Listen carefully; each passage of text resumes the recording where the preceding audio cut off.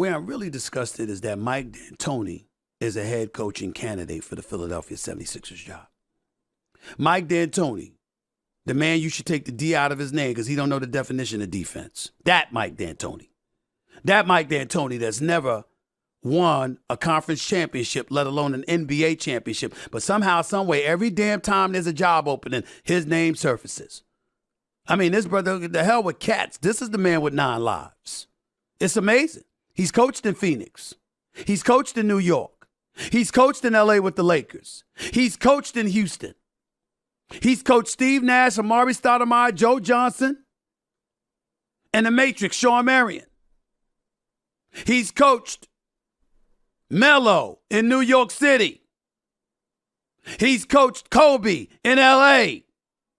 He's coached Harden with and without Chris Paul. With and without Russell Westbrook in Houston. This is Mike D'Antoni.